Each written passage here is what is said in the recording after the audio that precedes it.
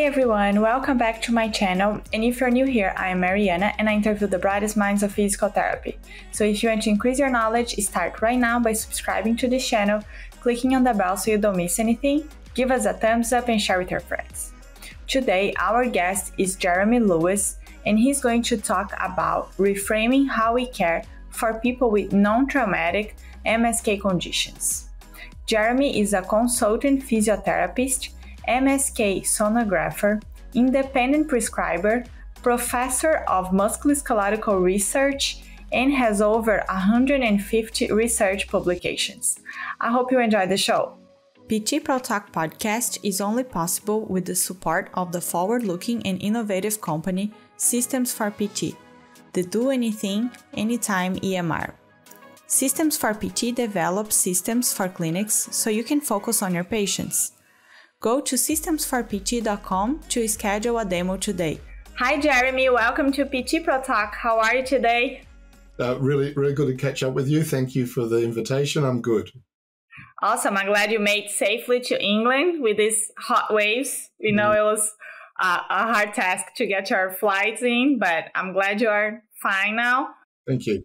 So let's just uh, start talking a little bit about yourself for the ones that don't know you. Talk a little bit about your background and, and how did you get to where you are right now? Can I, can I exaggerate or do I have to tell the truth? No, go exaggerate. Brag a little bit. I, I, I won't do that. um, so, um, my name is Jeremy Lewis. I was I was born in New Zealand. Um, I grew up by the sea. Um, um, my parents moved to Australia. That's where I uh, finished high school and um, was trying to work out what I wanted to do for my career, and I thought medicine, dentistry, and took some time off, and um, I chose physiotherapy, and um, for reasons I'm not going to share, and um, and that's where I became a physiotherapist. And after I finished my undergraduate training, I was really lucky to get into the one year postgraduate um, masters in manipulative therapy. What was it, masters then? And Geoff Maitland was teaching in those days, so I had the privilege of uh, learning oh. a little from Geoff, and um, then did a, another year in sports physiotherapy. And then 22 years ago, I um, I moved to England for was planned was to move for a year because I wanted to see what it was like and travel in Europe.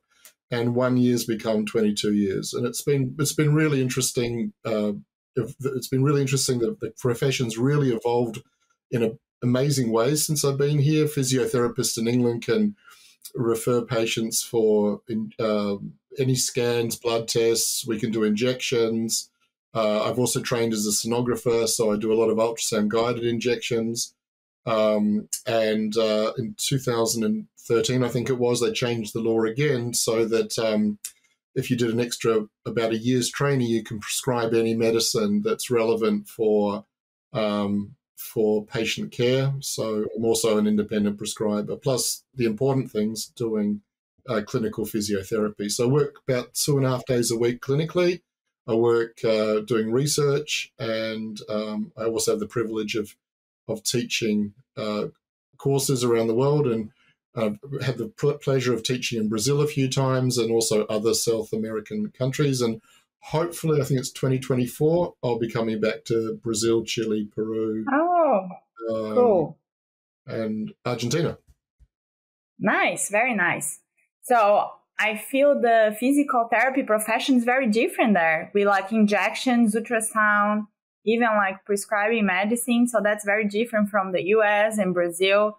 Uh, we can even we can spend a whole the whole episode just talking about the the, the difference that PTs in the different countries, the, the ability that they have to do different stuff. I think that's very interesting.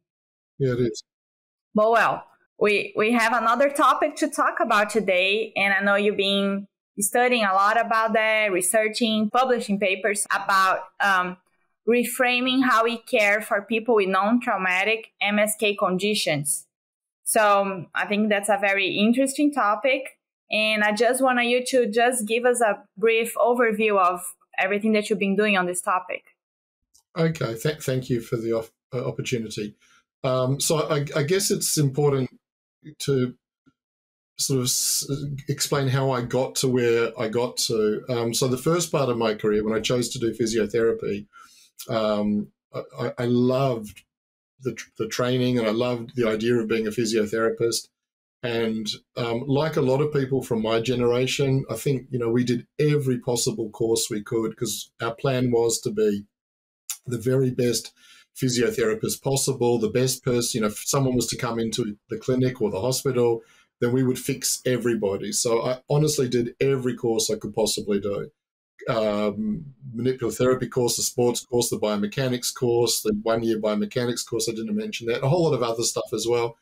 And because I really wanted to be the best fixer. And then I guess 10 years or so into my career, when I decided I wanted to do a PhD, I started to realize that a lot of the things I thought I was doing was not being really well supported by the research. And um, I was at a, actually a point in time where I thought, do I do I leave this profession and I do I do something else, or how do I continue to be a health professional, being confronted by just an overwhelming amount of research that said I can't be the person I was intending to be, and I guess at that point um, I, I started to sort of I took a bit of time off, drove around Australia a little bit, did some scuba diving, um, and and sort of spent some time on beaches thinking about what do I do. And the the, the decision was stop being a fixer, but try and be someone who coaches people.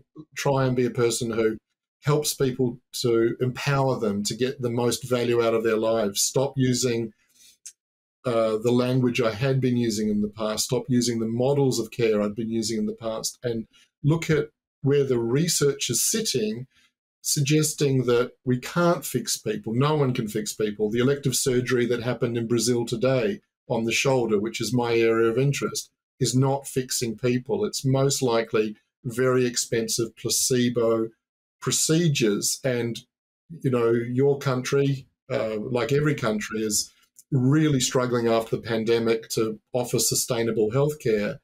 And, um, you know, we're all financially challenged. So why would we be uh, offering people what I consider just to be modern day bloodletting, um, if you know that term? And, and so I guess my decision was to try and be more honest with people seeking care and be more honest with myself. So um, I guess that's how I got to this idea. I don't know if that's exactly what you asked, but that's my answer. Yeah, no, that's a great overview, and I think that in the this paper that you published in 2021, uh, reframing how we care for people with persistent non-traumatic MSK pain, suggestions for the rehab community.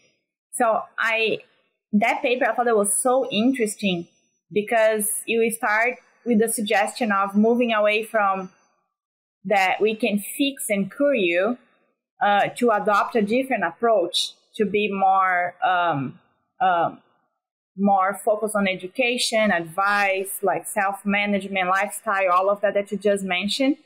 And I think that's a culture in our profession that we can fix you, we can cure you. We wanna learn all the tools to be able to fix everybody.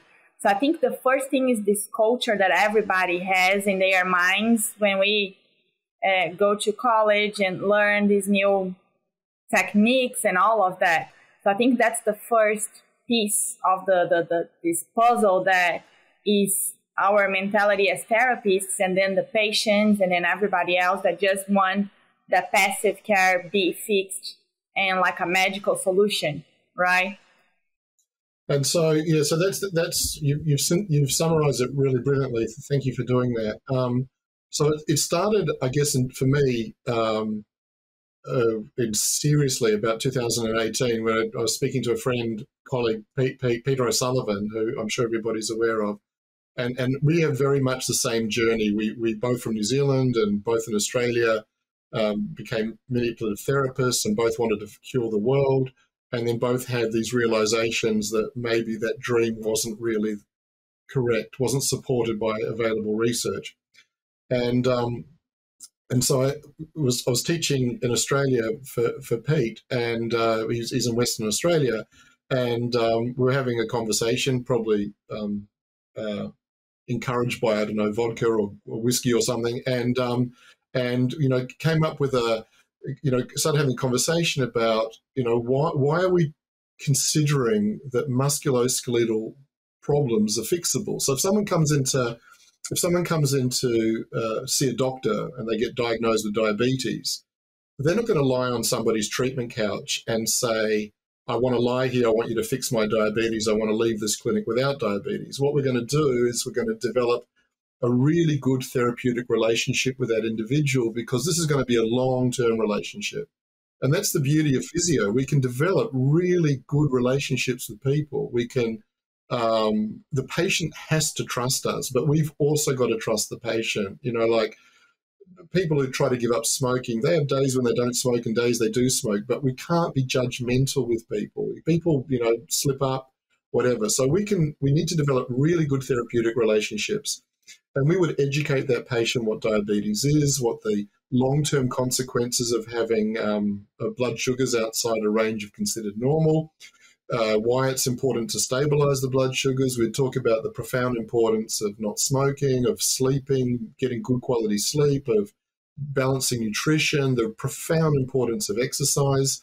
Um, and for most people with type 2 non insulin dependent diabetes, we should be able to bring the blood sugars into a range that's considered normal. If you can't, then of course you'd prescribe metformin or, or whatever's relevant for that person. But no one, no patient and no health professional is expecting a cure in that situation.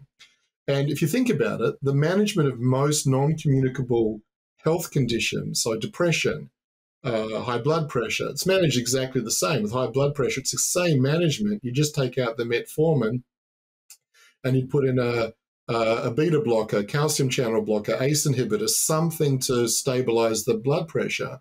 For asthma, it's exactly the same management. You take out the beta block and you put in a bronchodilator. So nobody with persistent health problems is expecting a cure. We'd all like them, but they just don't exist.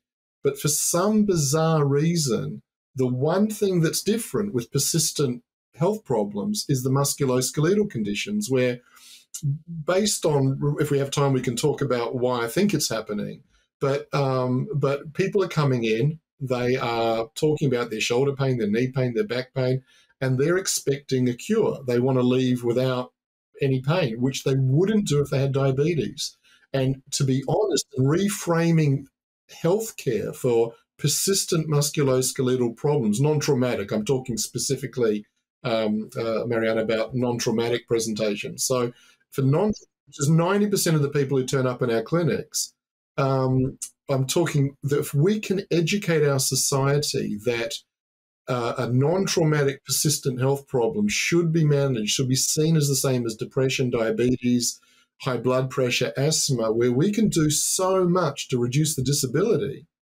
Um, there's so many things we can do. We have to work together as a team. There's no fix, and this is going to require a lifetime's management. You can't re- restore your blood sugars to normal and then all of a sudden um, go and buy a whole lot of um, Krispy Kreme donuts if, if people know what they are, or you know, go to KFC or McDonald's. I've got nothing against McDonald's, but just but but people understand people understand what um, what I mean. It's, it's still going to require a lifetime's management and commitment to maintaining blood sugars, and it's exactly the same for musculoskeletal problems.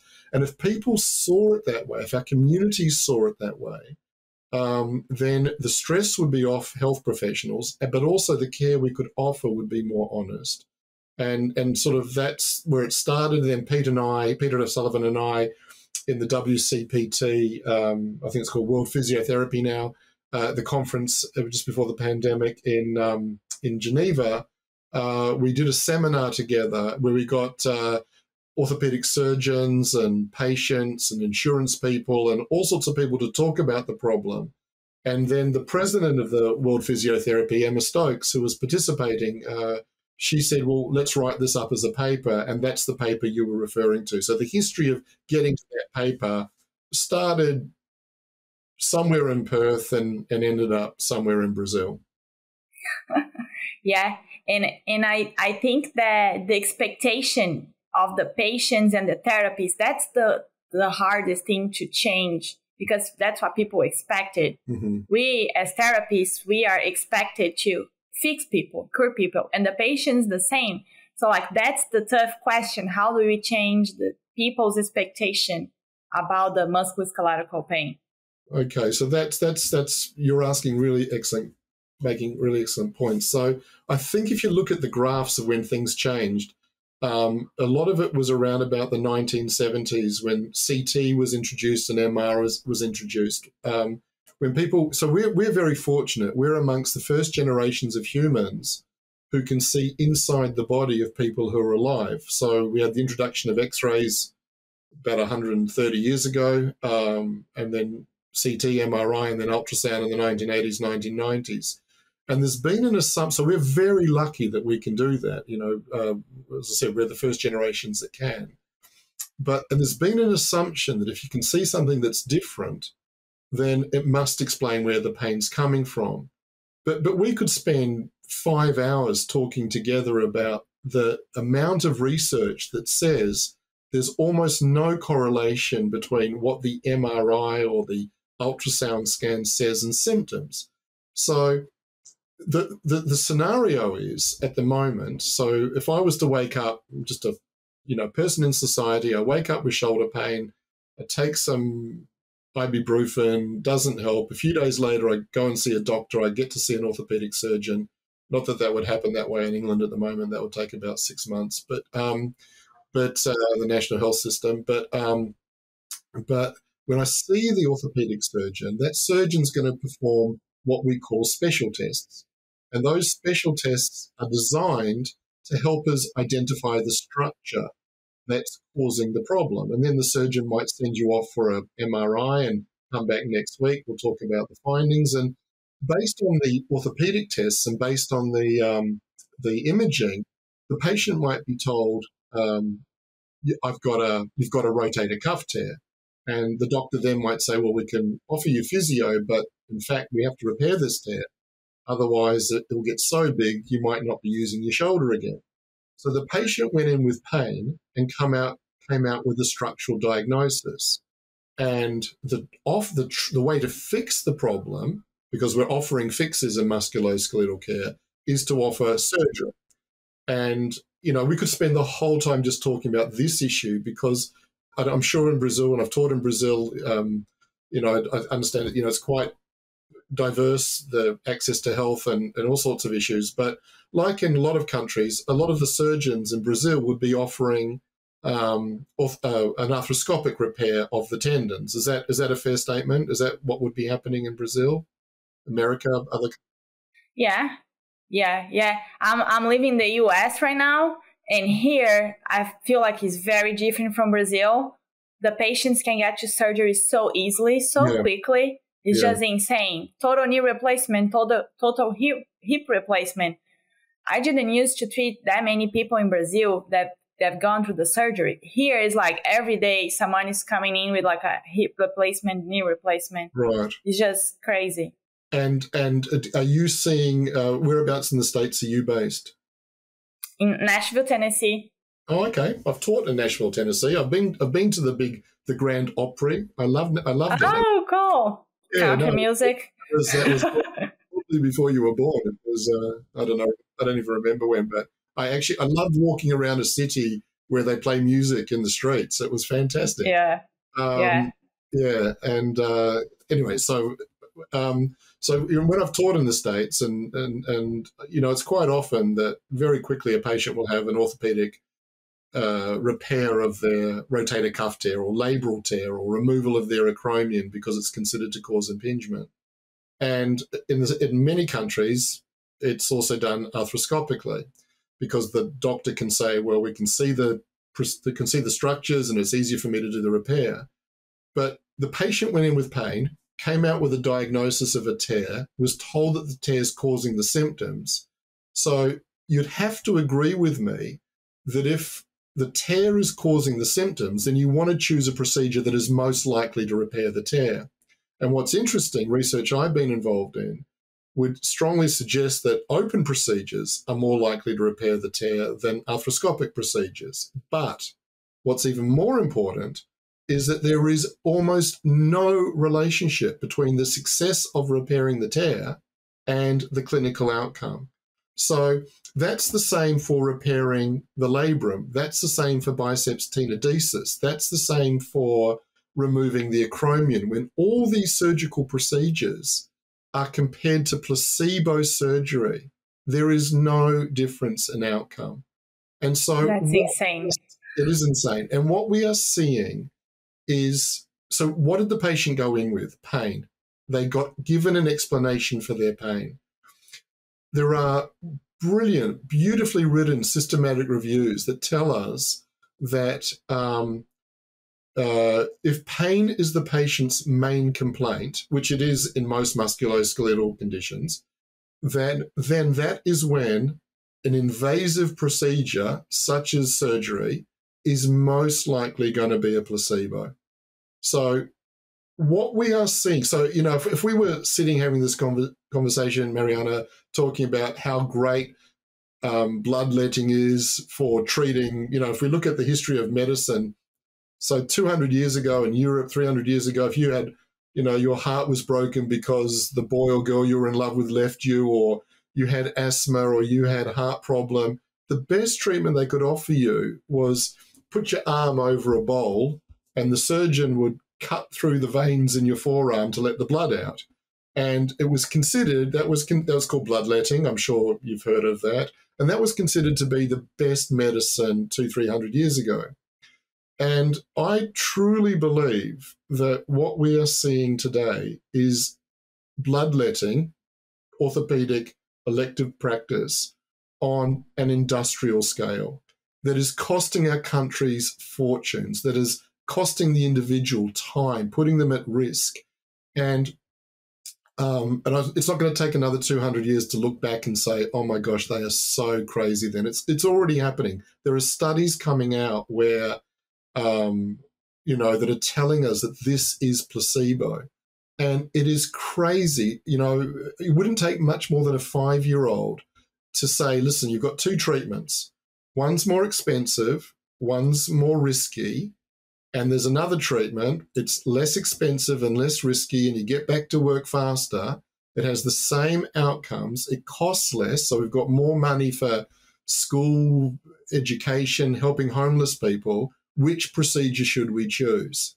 Now, a five-year-old would be able to say, well, obviously you choose, you know, the the lower risk, lower cost treatment if it has the same outcome.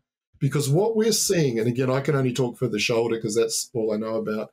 But um, but every study that's been published that looks at comparing surgery, which is followed by very lengthy rehabilitation, to just rehabilitation, the same outcomes at one year, 10 year follow up for impingement, whatever that means, etc., uh, etc. Et so we are looking at a lot of waste. We're looking at overuse of medicine. And that's, I guess, the topic of our conversation. You know, how are we, as health professionals, going to be offering valued care that's sustainable, that doesn't bankrupt our societies? And the question then has to be who is healthcare benefiting?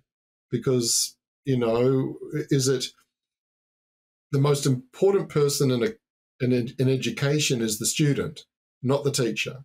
The most important person in healthcare is the patient, not the doctor, not the physio and the physical therapist. And so, if what you were saying before that you're seeing so many of these procedures uh, in your in your work in Nashville, but we've got alternatives, the big question is who's benefiting from this? It can't be the patient. It's somebody else. And I don't think we have to look too difficult, look too hard to find out who that person is. I've got no problem with surgery. I haven't ever, I've been accused of saying don't operate. I've never said it. What I'm saying is be honest with people seeking care. Like you would want someone to be honest with you what are the different alternatives? What are the harms? What are the benefits? How long is it going to take? How much is it going to cost? And let people make a decision that's right for them. And, and that's not happening in musculoskeletal healthcare at the moment. And it was interesting that just two interviews ago on my podcast, I talked to an author that published a paper about a case report of a patient with hip osteoarthritis she went through com- com- conservative treatment through uh, MDT system, got better. she just had a little of limp on the on the hip, but she was fine. One year follow up, two years follow up, and they found out that after she ended up doing a hip replacement because her doctor told her that she was still young, that would be good to correct her problem. I don't remember if it was labral tear, something like that. Um, and even that she was feeling okay, she ended up doing the hip replacement and the limping was still there after the hip replacement. So it's just crazy that even if the person goes through conservative treatment, it is successful. Is still this thing that they, the, the maybe the doctor, I don't know, I don't want to point any fingers, but the patient still believes that something needs to be fixed and they're going to go and fix because of this pathoanatomical model that we live today. So that's another question why we keep, as you said, um, funding this low value care, surgeries, subacromial decompressions, like you mentioned on your paper, and someone is benefiting from that. And that's, that's the, the, how we, how we can change this reality. Yeah, uh, that's that's a difficult question. I think there's lots of that was we addressed in the paper a little bit how we might start to to address it, but that's happening everywhere. I mean, it's I've had the privilege of teaching my shoulder course in in lots of countries in the states, South America, lots of lots of places, and it's a problem that's happening absolutely everywhere. That um, patients have done really well with non surgical care. They've addressed lifestyle questions, they've tried to lose weight, they've tried to uh, reduce smoking or stop smoking, understood the importance of good sleep, good nutrition, etc., done a lot of physical activity. They're feeling fine. Sometimes they're feeling better than they have in their whole lives or the, the memory of their life. And then they go and have surgery because they're so convinced. It's not their decision often. It's well, if you don't operate on the tendon, if we don't repair the labrum, if we don't remove the acromion, then you know structurally it's going to cause so many problems in the future, which is not telling people the truth. And anybody who is saying that is either not thinking about the patient's best interests or hasn't read very much research in the last 10 years, which I wonder if they should actually be in the position that they are making suggestions to to people seeking care. I think what we need to do, one of the ways that we can start addressing the problem, is that we need to sit with everybody in the the process of who cares for patients with musculoskeletal problems or people seeking care with musculoskeletal problems. Not don't make them patients, um, and um, decide how do we explain the reasons for their pain how do we examine them? How do we discuss the different treatment options to them honestly without bias?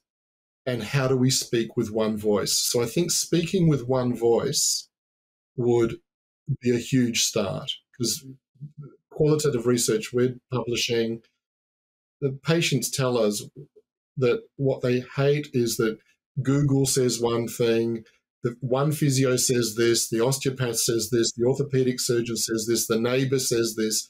They're so confused. And so I'm not, I don't blame people who get, I don't, I'm not surprised that people who get told, you know, um, well, you're feeling great now, but you've got to have surgery because they're just so confused. They're paralyzed with all this information coming at them.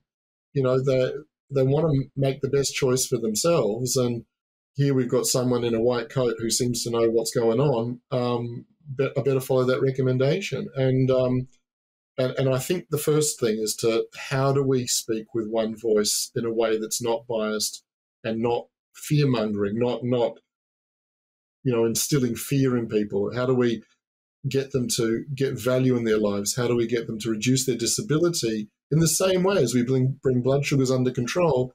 Doesn't mean the diabetes isn't there, but it doesn't mean the rotator cuff tear, tear isn't there, but they're not disabled by it anymore, which is exactly the scenario you gave with that patient with the hip problem.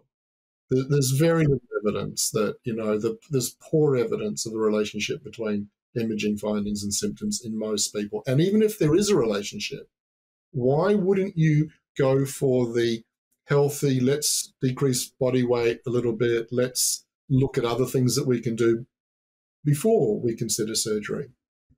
Yeah, and I think a big part of this is just teaching the patient how to take control of their pain and how to self manage their condition. And I think that, and that requires us to move more from passive to an active approach. Um, and I think that's a big barrier for the therapies, at least, because you're very focused on like manual therapy. We need to touch the patient to feel that we are giving some value for the patient as well. So I think that, I don't know if you agree with me on that, but moving from passive to active to show patient that they should be active, they should exercise and guide them through the process, I think that would be beneficial. So, so a paper we published during the pandemic, um, we were looking at exercise and manual therapy for shoulder pain problems. And, and I think we can strongly recommend an activity based approach. And I also think we can strongly recommend manual therapy. But we've got to be careful about it. We can't offer just manual therapy, and we can't offer endless manual therapy. We need to so if we can only offer one treatment, it would have to be education um, and ex- activity, exercise.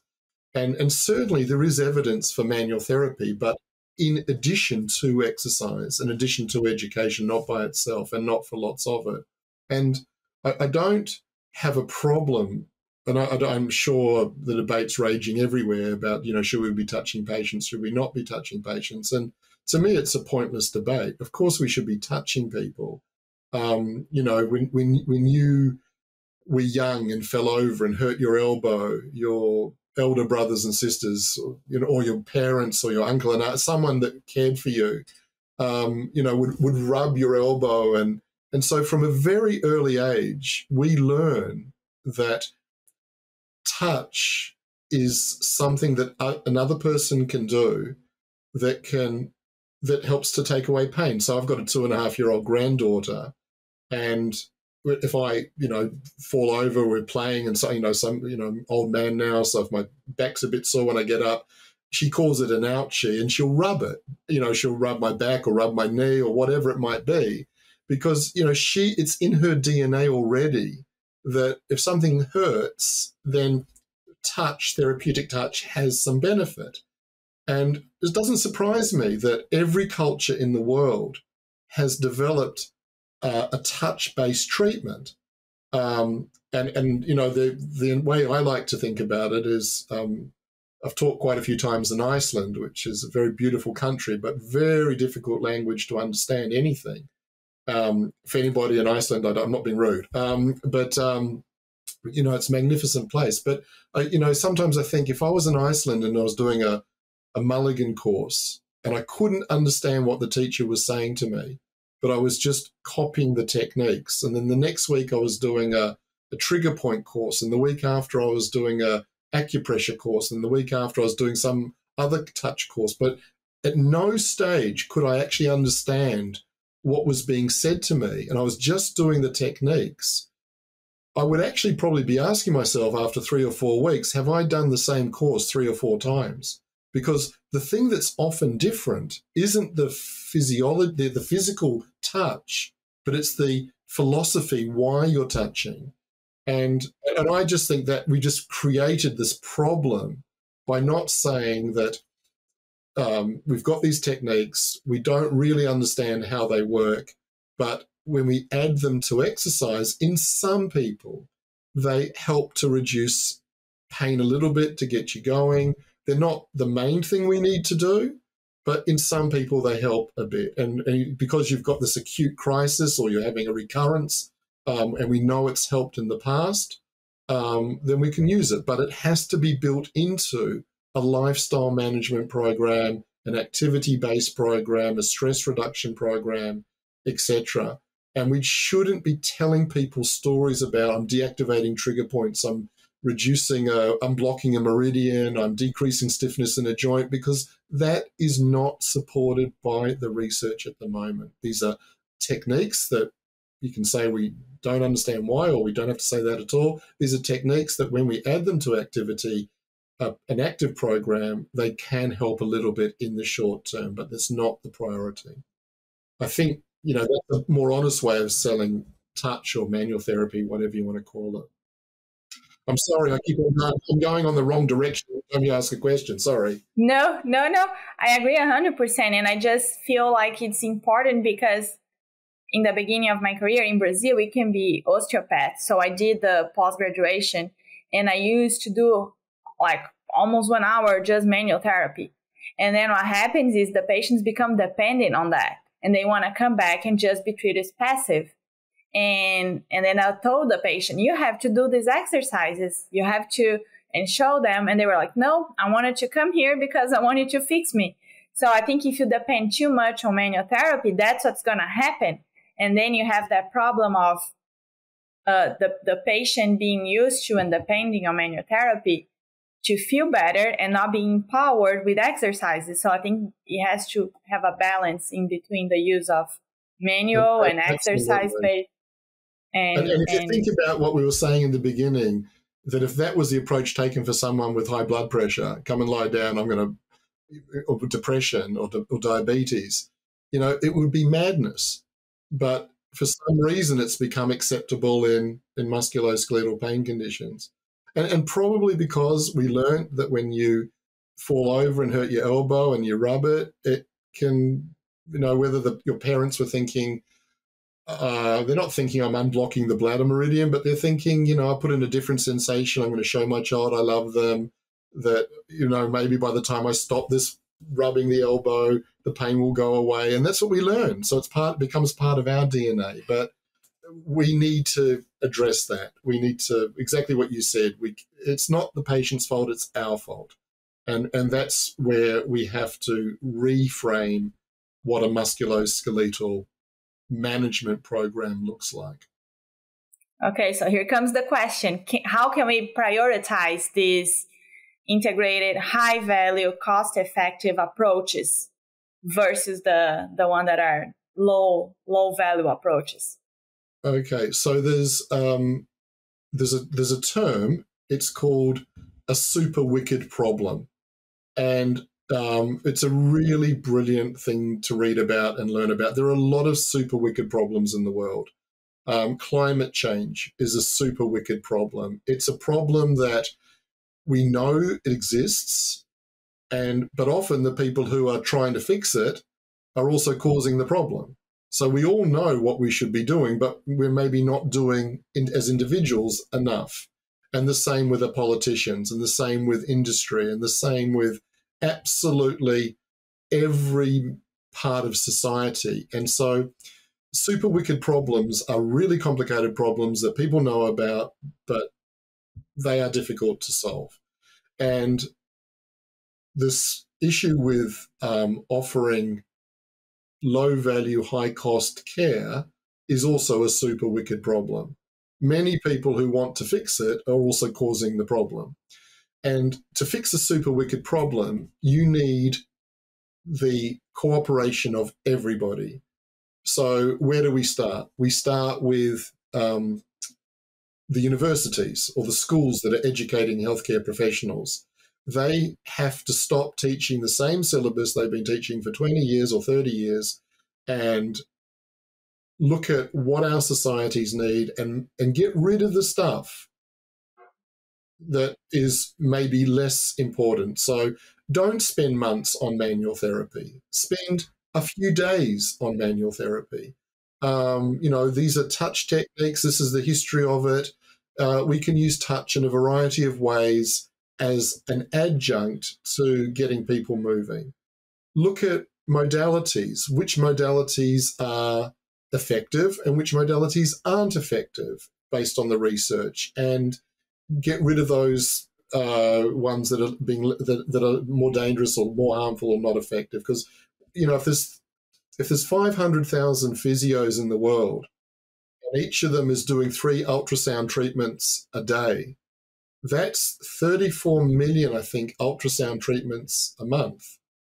How much are we contributing to climate change by, you know, whatever? I, you know, I made those numbers up a bit, but but you know, um, you, you can someone can do the maths properly, but it's going to be millions and millions of ultrasound treatments. I'm not saying don't do ultrasound, but if there's evidence for it, use it. If there's no evidence for it, why would we have it on for 10 minutes or however long it's on for if it's taking electricity, we're also contributing to the super wicked problem of, of climate change. But we're also contributing to the super wicked problem of telling people we're fixing them by, by doing this treatment. Um, so it needs to be, educators need to get involved. We need to make sure clinicians have the confidence to talk to patients about um, that, that reframing a musculoskeletal problem in the way that we might be talking about other persistent problems, how we can work together, we can work closely together. And that's the beauty of physiotherapy. We've got more time. Um, you know, as long as the patient trusts us uh, and, and we can trust them, we can spend time looking at strategies to, um, you know, to, to try and reduce the, the, the problem. And I'd love you to ask me at the end, if we've got time, you know, what do I think the physiotherapist of the future should look like? Because I think that's what we we need to be prioritizing in our in our education, undergraduate and postgraduate.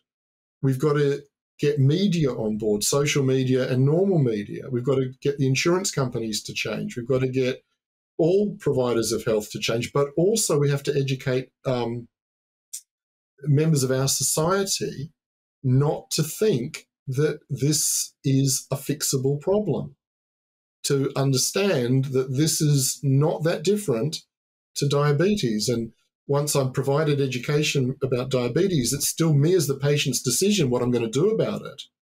But if I'm going to work with a health professional, it's not just receiving passive care. It's listening to the education, becoming, gaining self efficacy, learning how to self manage, seeking help when I have a flare up, um, listen to all the good advice, and and try and make the changes about that. So the, the, it is going to involve everybody. And um, if your listeners, uh, and if you can point them, I just published a paper a few weeks ago. It was called uh, a, a, letter to a patient. It's open access. Um, I don't know if you can provide people with a link to it. Uh, yeah, yeah, absolutely. But I'd, I'd, love, I'd love people to read the paper that the first paper that Peter and I, Peter O'Sullivan and I wrote um, reframing care. Um, and also, if they want to read the one that you were mentioning before, that would be great. But also the last one, the letter for a patient, because I think that's possibly a really strong way of educating ourselves, but also people seeking care to think differently about their musculoskeletal problems. And, you know, maybe we can use more social media, maybe our professional bodies um, under the leadership or the guidance of World Physiotherapy. You know, maybe we can produce television programs. Maybe we can produce advertising, uh, honest advertising. Um, you know that that that or infographics or info videos that that that people can start to understand the problems differently. It's going to take forever. Yeah, no, absolutely. I think you summarize it very well, like the the the, the solutions, the the uh, suggestions. Um, and I think another thing that would be very important to start the change is talking about the the elephant in the room, the paper that you wrote about the too much medicine, because I think that's in our culture. So about the the the the normal that's relevant to physical therapy, the posture of abnormalities that we use to say that cause the pain, the abnormalities on the exams that actually does don't doesn't mean that you you have a problem associated with the image. So that that part of the too much medicine that you mentioned, you can talk better about it than what I'm trying to summarize here.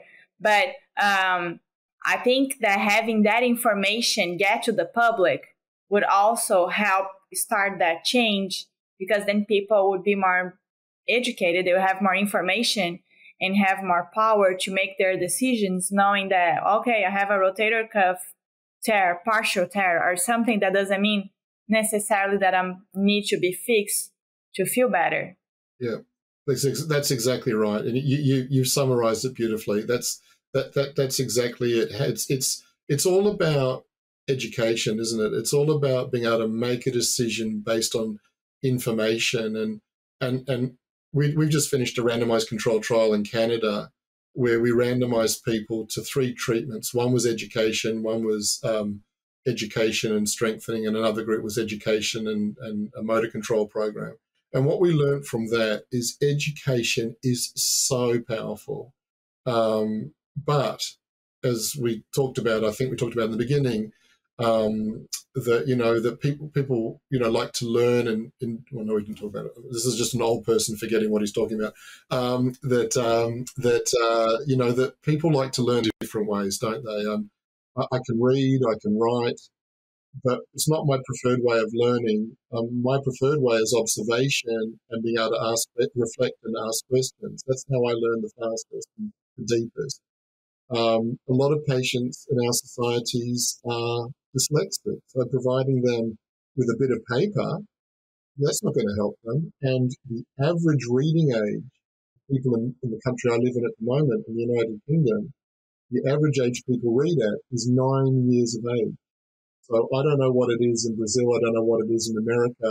Um, it's not going to be the age of the listeners to this podcast. We're all very privileged people, to a large extent, if you're a doctor or a physiotherapist.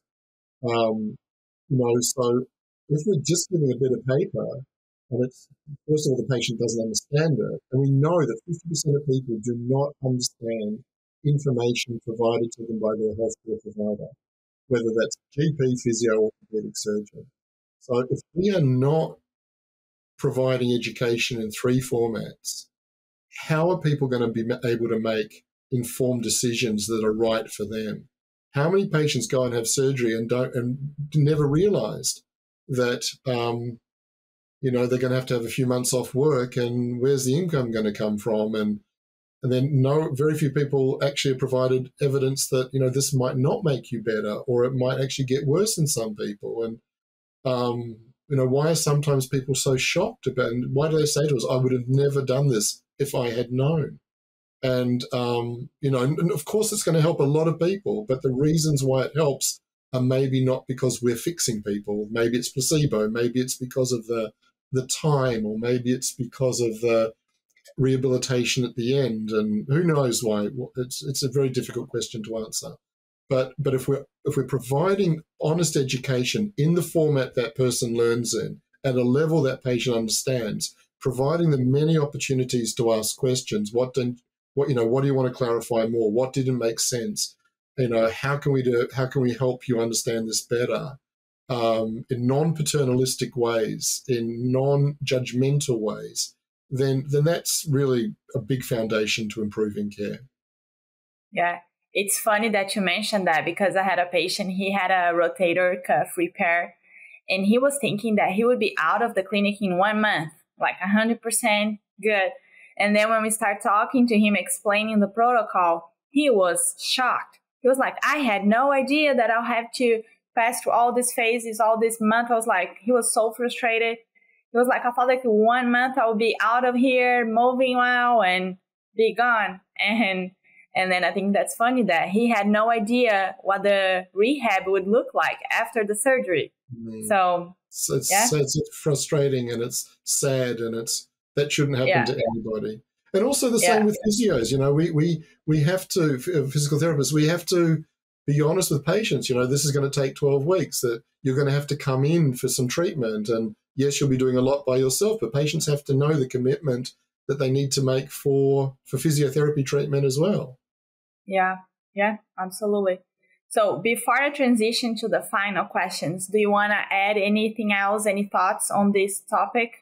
Yeah, just um, um, the, the that, that, discussion about what what I was sort of thinking as I'm coming closer to the end of my career than the beginning, and sort of thinking about you know what what does the physiotherapist of the future need to look like, and um, of course all the things that we're currently doing, but I, I, and and this is where the change it, it, sort of fits in with the conversation a bit bit earlier, Mariana, that you know the schools need to be making sure that we're excellent communicators. We're excellent listeners. We really hear the patient and listen to the patient and don't interrupt the patient. That we are, we become experts in behavioral change. We become experts in assessing people's nutrition. And if we learn how to help with that, great. If not, work in a multidisciplinary team to make sure that nutrition for that individual is spot on. Asking, finding out about sleep and, you know, is, is the patient's sleep health as good as it could be? And maybe educating ourselves how to assess that and how to improve that. How do we motivate people to be, you know, continue with physical activity and find different ways? But also, how do we as a profession talk to politicians and talk to the media about improving the environments? Because we know social determinants of health are more important than a lot of the physical things that we consider, such as tears, such as posture, as you mentioned earlier.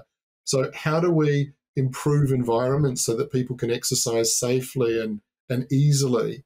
Um, how do we get into the junior schools, the, the, you know the infant schools, and as our profession, and start educating people at a really young age about um, how do you how do you you know become Serena Williams or how do you become Lewis Hamilton or somebody you know some famous person in terms of you know how do you achieve the you know the best you can achieve physically from your body and psychologically from your body? Um, and so you know i think we've got to really make some big changes. This is a wonderful time for our profession. You know every country is suffering from this horrible pandemic we've all been through. We've all got to find sustainable ways to provide healthcare our profession is the profession that can do that but we in order to do it we've got to ditch some stuff and pick up new stuff, as the research is telling us, and of course, change in the future when the research changes. Yes, yes, absolutely. I'm going to ask a few questions. I think you answered some of them, but the first one is any resource of information that you would like to share with us that you like? Well, it just so happens that there's this amazing book that was published just a few uh, month and a half ago. Just I don't know, not everybody who's listening to this will see it. I'll tell you, it's called "The Shoulder Theory in Practice," and uh, it was edited by me and Cesar from from Spain. But um, that's the best resource. No, it's um, it, that's a resource. uh, it focuses on the shoulder, but it touches a lot of the issues that we've been discussing. The paper, the papers that I mentioned, the one I wrote with P- Peter O'Sullivan, and the one, the letter paper, and everything in between.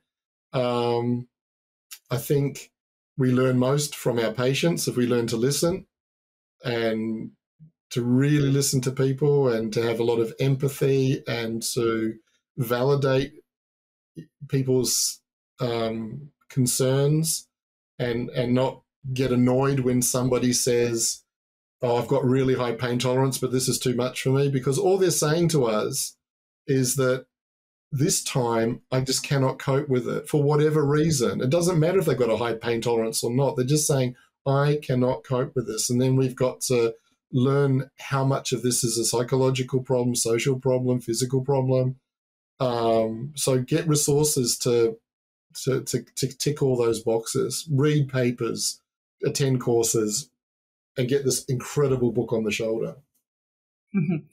I think you just answered my second question. That would be what what advice would you give to a clinician that is starting uh, their careers? So the things I said. Think about, yeah, what, yeah. Think about what you would like, or the person you care most in the world about. You know, if it's your mum, your dad, your boyfriend, your girlfriend, your husband, wife, children, whatever. What care would you want them to receive? How would you like the health professional, the doctor, the physio to treat them when they come in the clinical room and become that person. Don't become. I, I, had a problem with my eyes a month ago and I went to see an ophthalmologist. Um, and, and the guy, honestly, when I came into the room, was facing his computer back to me, said to me, not looking at me, said, you know, what, what, what are you doing here? And I said, you know, who are you? What's your name? And it was really shocked that anyone would say that. You know, just the, the way that we have to provide care is the way we'd like to receive care. And, and, you know, don't ever be frightened to call out bad practice and, um, in a, in a probably a more appropriate way than I did. But, but, um, you know, be, be, become the physiotherapist of the future, learn about, become the best communicator, the best listener, become the best non-judgmental person. Um, how can we get benefit for this individual, and and how can we do that through everything we know through physical, sleep, nutrition, stress, etc., etc. Yes, awesome. Well, that was great. Um, Jeremy, if people want to learn more about you, your work, or contact you, how they can find you? Through my mother. she tells everybody how good I am. Um, no, um, um, no. So I think uh, probably not actually. Um, so um, yeah, so I've got a website. It's uh, drjeremylewis.com. Um, it's a work in progress. It's it could be better. I've just got no time to work on it, but uh, that's that's one place. And I, I try through social media uh, uh, as much as possible to promote the papers that we're published and other people's papers. And um, and so that's if people are interested, those are the those are the main ways.